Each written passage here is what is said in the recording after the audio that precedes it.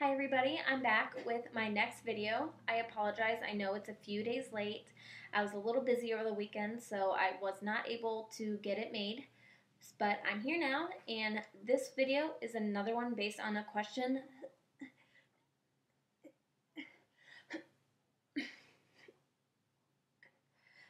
It's based on a question that I was asked by another one of my viewers, so I thank you for all of these amazing questions. Please, please keep them coming. I really enjoy answering them. I enjoy seeing people being curious and wanting to know more. So please ask anything you want to know. This question is um, I was asked what dating was like while having Tourette syndrome. Well, as I don't know, I'm sure some of you are aware that I am married now and I'm married to a very, very wonderful man who deals with my Tourette's in the best way I've ever known. Aside from family members, he's always trying to make it better for me. He knows that there's not a lot that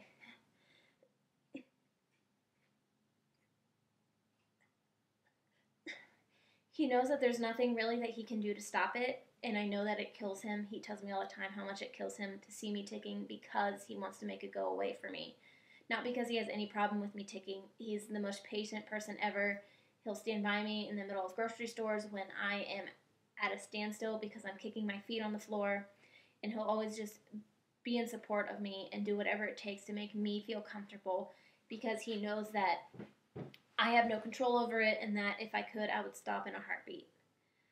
Um, dating, though, before I met him, and I never really came across anybody that was necessarily mean or rude to me while I was dating them. I think I just dated some boys that didn't really know what to do or how to handle it. And that's okay because not a lot of people understand Tourette syndrome or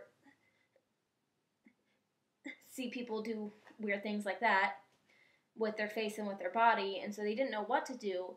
But I think because they weren't sure what to do, um, they were scared to do anything at all. They would almost act as if some one of them almost acted as if I was way worse off than I really am, and I didn't really like that. That made me feel more uncomfortable and almost made me take more. The other one acted as if it never happened, which isn't necessarily a problem, but sometimes I like it acknowledged by the person I'm with because I might need their help. I might need them to talk to me. I might need them to put their hand on my back, rub my back, and soothe me so that I can come back from what a lot of us like to call a really bad tick attack. Um, I always judged the guys I dated on my Tourette's because I wanted to see how they handled it. Because obviously, if they couldn't handle it just while we were dating, they weren't going to be able to handle it long term. And I needed to feel comfortable around somebody. Um, one of my boyfriends, I didn't feel that comfortable around him enough to tick because he was kind of a jerk, and we've all been there. But I felt like he wasn't going to be any help to me, and that relationship did not last very long. But that was one thing that I kept in mind that I need to find somebody that's okay with who I am, ticks and all, because I never know when I'm going to tick. I never know what day is going to be bad. I can kind of guess when I'm excited or stressed that it's going to be a bad day, but I never know for sure. And I needed to have somebody that was going to stand by me no matter how bad they got.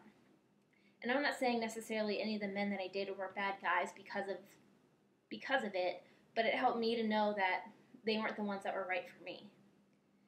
My husband now multiple times has told me that he loves me even more because of my Tourette's because it made me into the woman that he knows now and I can't thank him enough for making me feel confident for the person that I am. And I would say that that's something that each one of us needs to find with or without Tourette's, but especially with Tourette's, you need to find somebody that's patient. You need to find somebody that's not going to get fed up with you and that loves you through it and not in spite of it because it's not going to go away.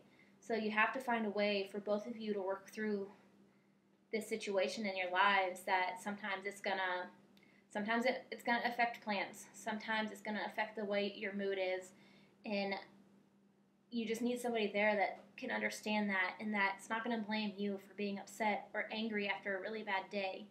And I'm so thankful that I have a man in my life that is all of those things and that treats me like anybody else and that just wants and he just wants to see me better.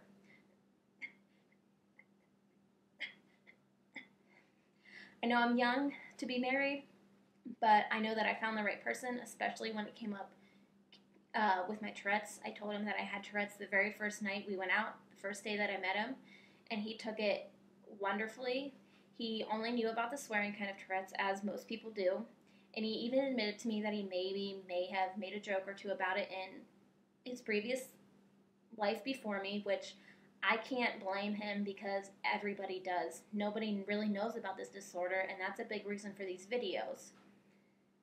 And now he couldn't be more supportive, and his entire family has accepted me and it's been supportive as well, and I'm so thankful for that. And dating a lot of the guys that didn't know and understand, didn't know how to take my Tourette's made it easier for me to find out what I needed in my life and what kind of support system I did need by my side for the rest of my life. So, once again, very good question. I hope I kind of answered that for you.